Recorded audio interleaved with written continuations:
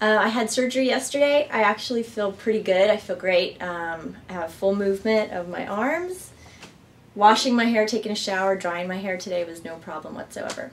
So, very happy I made the decision, and even though the swelling hasn't gone down yet, I'm happy, and I'm sure it's going to be even better in a few weeks.